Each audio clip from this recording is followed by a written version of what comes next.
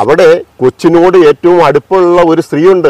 അതിനെക്കുറിച്ചുള്ള ഡീറ്റെയിൽസും എല്ലാം ക്രൈംബ്രാഞ്ചിനും നമ്മൾ കൃത്യമായിട്ട് കൈമാറിയതാണ്. അതിനെ പിന്നിൽ പ്രവർത്തിച്ച ഒരു സ്ത്രീയുണ്ട്. ആ സ്ത്രീ ഉണ്ടെങ്കിൽ അവർ അവർ ഈ എറണാകുളത്ത് തന്നെ ജോലി ചെയ്യുന്ന ആളാണ്. മോൾ അന്ന് കൊണ്ടുപോയിരുന്ന ഒരു സാധനവും നമുക്ക് തിരിച്ചു കിട്ടിയിട്ടില്ല. രണ്ടായിരത്തി പതിനേഴിൽ ഒരു മിസൈൽ ഷാജി കൊലക്കേസ് പലരും മറന്നു കാണില്ല അല്ലെ? പോലീസ് നിർദാക്ഷിണ്യം ആത്മഹത്യയാണെന്ന് എഴുതി തള്ളിയ കേസ്. കൊലപാതകമാണെന്ന് അറിഞ്ഞിട്ട് കൂടിയും ആത്മഹത്യയാക്കി തീർത്ത കേസ്. ഇന്നും ആ കുടുംബം ആ പെൺകുട്ടിയുടെ നീതിക്ക് വേണ്ടി അലച്ചിലാണ്. കൊച്ചിയിലെ സി എ വിദ്യാർത്ഥിനായിട്ടുള്ള മിസൈൽ താമസിച്ചിരുന്നത് ഹോസ്റ്റലായിരുന്നു അന്ന് വൈകുന്നേരം നാലിനും അഞ്ചിനും എടുക്ക് ഹോസ്റ്റലിൽ നിന്നും പള്ളിയിലേക്ക് പോയതായിരുന്നു മിസൈൽ അല്ലെ? പിന്നെ കാണുന്നത് അടുത്ത ദിവസം കൊച്ചി കായലിൽ പൊങ്ങിയ നിലയിലാണ്. എന്നിരുന്നാലും ആ കേസുമായി ബന്ധപ്പെട്ട് ചില വെളിപ്പെടുത്തലുകൾ ഇപ്പൊ പൊങ്ങി വന്നിരിക്കുകയാണ്. ഇനി സംഭവത്തിന്റെ നാൾവഴിയിലേക്ക് വരുമ്പോൾ നാല് മണിക്ക് ഹോസ്റ്റലിൽ നിന്ന് ഇറങ്ങിയ മിഷേൽ നാലിനും അഞ്ചിനും ഇടയ്ക്ക് പള്ളിയിൽ വന്നിട്ടുണ്ടായിരുന്നു എന്നുള്ളത് പള്ളിയുടെ സി സി ടി വി ഫുട്ടേജിൽ വ്യക്തമായിരുന്നു. വ്യക്തമായി മിഷേൽ ആ പള്ളിയിൽ കയറി പ്രാർത്ഥിച്ച് ഇറങ്ങി പോകുന്നുണ്ട്. വളരെ ശാന്തമായ രീതിയിൽ. പ്രത്യേകിച്ച് മുഖത്ത് അലട്ടലോ പേടിയൊന്നും ഉണ്ടായിരുന്നില്ല. അങ്ങനെ നടന്നെങ്കിൽ മിസൈൽ റോട്ടിലേക്കും പോകുന്നുണ്ടായിരുന്നു. റോഡ് വരെയുള്ള C C T V footage വ്യക്തമായിരുന്നു. അവിടെ നിന്നാണ് പിന്നീട് മിസൈലിനെ കാണാതാകുന്നത്. അങ്ങനെ ഏഴ് മണിയായിട്ടും ഹോസ്റ്റലിലേക്ക് തിരികെ വരാതിരുന്ന സമയത്ത് ഹോസ്റ്റലുകാർ എന്താക്കുന്നു മിസൈലിനെ വീട്ടുകാരെ വിളിച്ച് സംഭവം അറിയിക്കുന്നു. അങ്ങനെ മിസൈലിന്റെ വീട്ടുകാർ നേരെ എന്താക്കുന്നു? പോലീസ് സ്റ്റേഷനിലേക്ക് ചെല്ലുന്നു.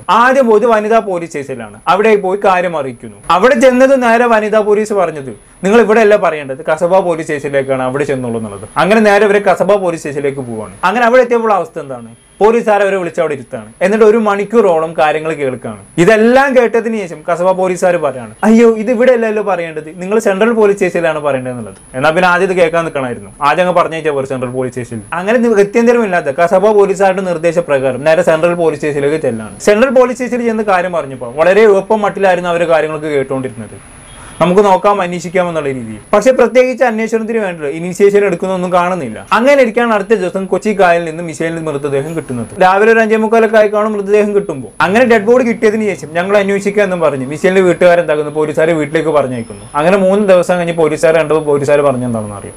ഇത് ആത്മഹത്യയാണെന്നുള്ളതാണ്. വേറെ ഒന്നും അവർ പറഞ്ഞില്ല. നിങ്ങളോട് ആലോചിക്കേണ്ടത് ആത്മഹത്യ ചെയ്യണമായിരുന്നെങ്കിൽ മിഷേൽ നേരിട്ട് പോയി ആത്മഹത്യ ചെയ്താൽ പോരായിരുന്നു. നേരെ ഹോസ്റ്റലിൽ ഇറങ്ങി പള്ളിയിൽ പോയി റോട്ടിലൊന്ന് ചുറ്റിക്കറങ്ങിയിട്ട് വേണം ആത്മഹത്യ ചെയ്യാൻ അല്ലേ? ആത്മഹത്യ ചെയ്യുന്നതിന് മുമ്പ് നാടൊന്ന് ചുറ്റിക്കറങ്ങാന്ന് കരുതി കാണും. എന്തായാലും പോലീസുകാർ ആത്മഹത്യയാണെന്ന് പറഞ്ഞ സമയത്ത് മിഷേലിന്റെ അച്ഛൻ തിരിച്ചു ചോദിക്കുന്നുണ്ട്. ഡെഡ് ബോഡി കിട്ടിയത് എവിടുന്നാണ്? ഒന്നാം പാലത്തിന് അവിടുന്നാണ് അല്ലേ? ഒന്നാം പാലത്തിനോട് വെള്ളം വളരെ കുറവാണ്. അവിടുന്ന് താഴേക്ക് ചാടി കഴിഞ്ഞാണെങ്കിൽ ഒഴുകി പോകാനുള്ള ഒരു സാധ്യതയുമില്ല. ചതുപ്പിലേക്ക് താന്നു പോകും. അപ്പൊ അങ്ങനെ വരുന്ന സമയത്ത് ഡെഡ് ബോഡി കിട്ടണമെന്നുണ്ടെങ്കിൽ ചതുപ്പിൽ മുങ്ങിയ നിലയിലായിരിക്കും കിട്ടേണ്ടത്. പക്ഷെ അങ്ങനെയല്ലല്ലോ കിട്ടിയത് എന്നുള്ളത് അത് പറഞ്ഞപ്പോൾ പോലീസുകാർക്ക് തിരിച്ചൊന്നും പറയാനില്ല എന്നുള്ളതാണ്. ആ നോക്കാം. നിങ്ങൾ പറഞ്ഞ പോലെ ഞങ്ങൾ മുഖവിലേക്ക് എടുക്കുന്നുണ്ടെന്ന് പറഞ്ഞ ഒറ്റ പോക്കാം. അതായത് ഒരു ഇൻട്രസ്റ്റും പോലീസുകാർ കാണിക്കുന്നില്ല എന്നുള്ളതാണ്. പോലീസിന് സിമ്പിൾ ആയ ഒരു കാര്യം ചെയ്യാമായിരുന്നു. മിഷേലിന്റെ ഫോൺ കോൾ ട്രേസ് ചെയ്യാമായിരുന്നു. ടവർ ലൊക്കേഷൻ നോക്കിയിട്ട്. ഏതൊരു കൊലപാതകം നടന്നാലും അല്ലെങ്കിൽ ഏതൊരു ആത്മഹത്യ നടന്നാലും തുടക്കം പോലീസുകാർ ചെയ്യേണ്ട പരിപാടികൾ ഇതൊക്കെയാണ് പക്ഷെ അതുപോലും ഇവിടെ പോലീസുകാർ ചെയ്തിട്ടില്ല എന്നുള്ളതാണ്.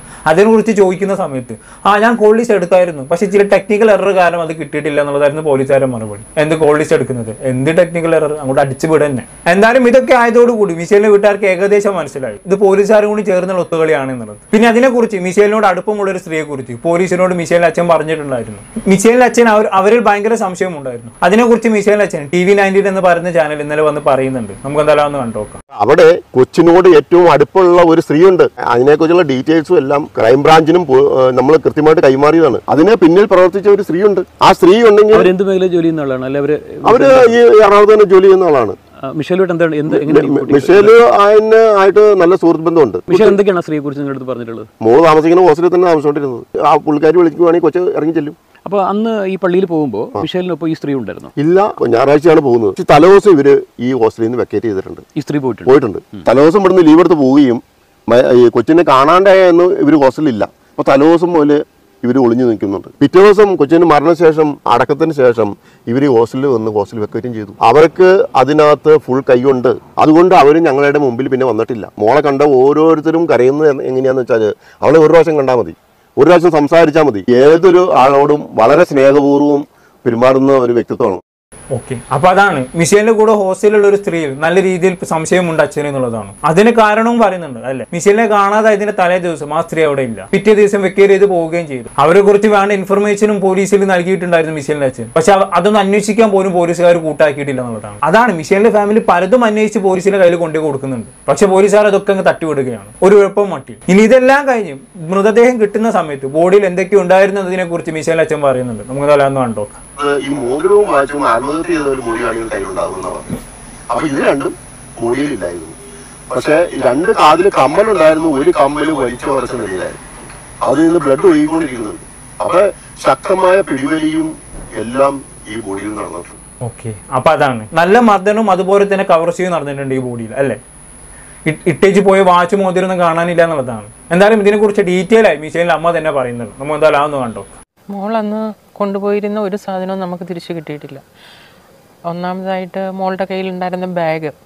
ആ ബാഗിനുള്ളിൽ കുടയുണ്ട് പുസ്തകമുണ്ട് പിന്നെ കുറേ ഫോട്ടോസ് അതായത് ഈ യേശുവിന്റെ ഒക്കെ ക്രോസ് അത് അങ്ങനെയുള്ള സാധനങ്ങൾ ക്രോസറി അങ്ങനെയുള്ളതൊക്കെ ഉണ്ടായിരുന്നു. അതൊന്നും തിരിച്ചു കിട്ടിയിട്ടില്ല. പിന്നെ മോൾ ധരിച്ചിരുന്ന ഷൂ അത് കിട്ടിയിട്ടില്ല. ഷോൾ പിന്നെ ഏറ്റവും പ്രധാനപ്പെട്ട രണ്ട് സാധനങ്ങളാണ് വാച്ചും മോതിരവും. വാച്ചാണെങ്കിൽ സ്ട്രാപ്പ് വാച്ചാണ് അത് എവിടെയെങ്കിലും തട്ടി അങ്ങനെ പോകാനായിട്ടുള്ള ചാൻസ് ഇല്ല. ഊരിയെടുക്കണം. പിന്നെ കയ്യിൽ നന്നായിട്ട് ഇറുങ്ങി കിടന്നിരുന്ന ഒരു മോതിരമുണ്ടായിരുന്നു ആ മോതിരം കണ്ടു കിട്ടിയിട്ടില്ല. അത് ഊരി പോകാൻ യാതൊരു ചാൻസും ഇല്ല. അത് പോലീസുകാർ പോലും ആ ഒരു സാധനം ഉണ്ടെന്ന് ആരും കണ്ടുപിടിച്ചില്ലായിരുന്നു. ഇൻവെസ്റ്റിഗേറ്റർ ചെയ്തിരുന്ന നിങ്ങളാണ് അത് കണ്ടുപിടിച്ച് വെളിയിൽ കൊണ്ടുവന്നത്. അപ്പോഴാണ് ഞങ്ങളും അത് ശ്രദ്ധിക്കുന്നത്.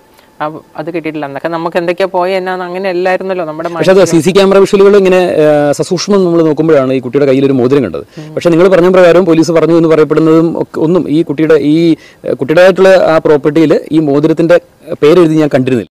ഓക്കെ. അപ്പൊ അതാണ്. ഇത്രയും കാര്യങ്ങൾ ആ ശരീരത്തിൽ നിന്ന് നഷ്ടപ്പെട്ടിട്ടുണ്ട്. ഒരു ബാഗ് മോതിരം കമ്മൽ ഇതൊക്കെ നഷ്ടപ്പെട്ടിട്ടുണ്ട് അല്ലേ? അതിനെക്കുറിച്ചൊന്നും അന്വേഷിക്കാൻ പോലും പോലീസ് തയ്യാറായില്ല എന്നുള്ളതാണ്. എന്തിനൊക്കെ കൈന്റെ വിരലിൽ ഒരു മോതിരം ഉണ്ടായിരുന്നു. അതിനെക്കുറിച്ച് പോലും പോലീസ് ഇൻവെസ്റ്റിഗേഷൻ റിപ്പോർട്ടിൽ എഴുതിയിട്ടില്ല എന്നുള്ളതാണ്. കാരണം അതിനെക്കുറിച്ച് എഴുതി കഴിഞ്ഞാണെങ്കിൽ അത് എവിടെയെന്നുള്ളൊരു ചോദ്യം വരുമല്ലോ. ചിലപ്പോൾ അതുകൊണ്ടാകും. എന്നിട്ട് C C T V footage വെച്ച് മാധ്യമങ്ങളാണ് അത് പുറത്തേക്ക് കൊണ്ടുവന്നിട്ടുള്ളത്.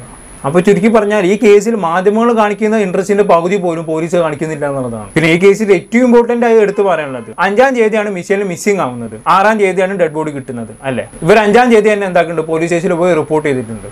പക്ഷേ പോലീസുകാർ പറയാണ് നിങ്ങൾ ആറാം തീയതി പരാതി തന്നിട്ടുണ്ടെന്ന് എഴുതി തന്നാൽ മാത്രമേ ഞങ്ങൾ അന്വേഷിക്കുകയുള്ളൂ എന്നുള്ളത്. കാരണം എന്തിനാണ്? കുട്ടി മിസ്സിംഗ് ആയി മരിച്ചതിന് ശേഷമാണ് പരാതി നൽകിയത് എന്ന് വരച്ച് തീർക്കാൻ വേണ്ടിയിട്ടാണ്. അഞ്ചാം തീയതി തന്നെ പരാതി നൽകിയിട്ടുണ്ട് എന്നതാണെങ്കിൽ മിസ്സിംഗ് കേസ് അന്വേഷിച്ചില്ല എന്നുള്ളൊരു പേര് വരുമല്ലോ. അപ്പോൾ അത് ഒഴിവാക്കാൻ വേണ്ടിയിട്ട് അതൊക്കെയാണ്. ആറാം തീയതിയിലേക്ക് ആക്കാൻ വേണ്ടിയുള്ള എല്ലാ ശ്രമങ്ങളും പോലീസുകാർ നടത്തിയിട്ടുണ്ടായിരുന്നു. പക്ഷേ പാരൻസിന്റെ പ്രഷർ മൂലം അത് നടന്നില്ല എന്നുള്ളതാണ്. അങ്ങനെ അഞ്ചാം തീയതി തന്നെ എന്താക്കണം? പരാതി കൊടുത്തു എന്നുള്ള റിപ്പോർട്ട് ഇട്ട്. പിന്നെ സി സി ടി വി ഫുട്ടേജിൽ നിന്ന് കറക്റ്റ് വ്യക്തമാണ്. മിസൈലിന് ഒരാൾ പിന്തുടരുന്നുണ്ടായിരുന്നു എന്നുള്ളത്. അതൊക്കെ കാണിച്ചു കൊടുത്തിട്ടും പോലീസുകാർ ഒന്നും ചെയ്തിട്ടില്ല എന്നുള്ളതാണ്. പിന്നെ അതിന്റെ കൂട്ടത്തിൽ എടുത്തു പറയേണ്ടത് ബോഡി ആദ്യം പോസ്റ്റ്മോർട്ടത്തിനായി കൊണ്ടുവന്നിരുന്നത് ജനറൽ ഹോസ്പിറ്റലിലേക്കായിരുന്നു പിന്നീട് മറ്റൊരു ഹോസ്പിറ്റലിലേക്ക് മാറ്റുകയായിരുന്നു. അതും പാരന്റ്സിനെ അറിയിക്കാതെ ഇങ്ങനെയൊക്കെ ചെയ്യാൻ പോലീസുകാർക്കാരാണ് അധികാരം കൊടുത്തത്. പിന്നെ പോസ്റ്റ്മോർട്ടം റിപ്പോർട്ട് വന്ന സമയത്ത് ശരീരത്തിനുള്ളിൽ വെള്ളത്തിന് അംശങ്ങളൊന്നും ഇല്ലായിരുന്നു.